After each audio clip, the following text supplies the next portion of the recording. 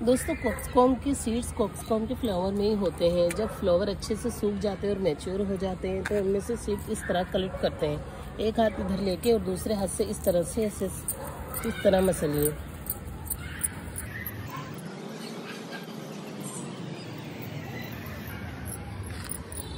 ये देखिए दोस्तों, ये छोटे छोटे से काले काले सीड्स आपको दिख रहे हैं? ये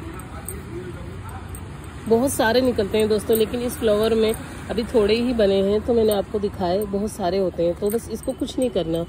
ये छोटे छोटे जो काले काले इन्हें मट्टी में नहीं दबाना होता है, बस लेकर इस तरह से बिखेर दीजिए, बस। मट्टी में दबाना नहीं होता, क्योंकि ये बहुत बारीक होते हैं, और इसमें इस तरह से पानी डाल दीजिए। डेढ़ महीने बाद इस तरह से ढेर सारे प्लांट तैयार हो जाएँगे। जैसे मैंने ये कई सारे प्लांट तैयार कर लिए हैं।